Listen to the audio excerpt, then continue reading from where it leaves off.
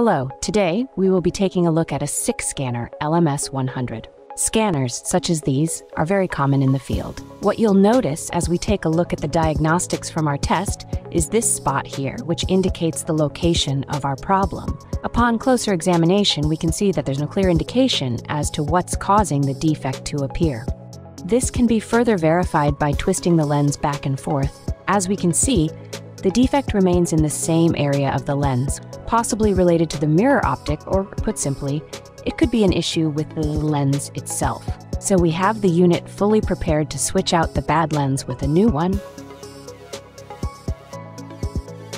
Finally, if we look at our computer screen, you'll notice that there are no obstructions and the defect is no longer appearing on our screen.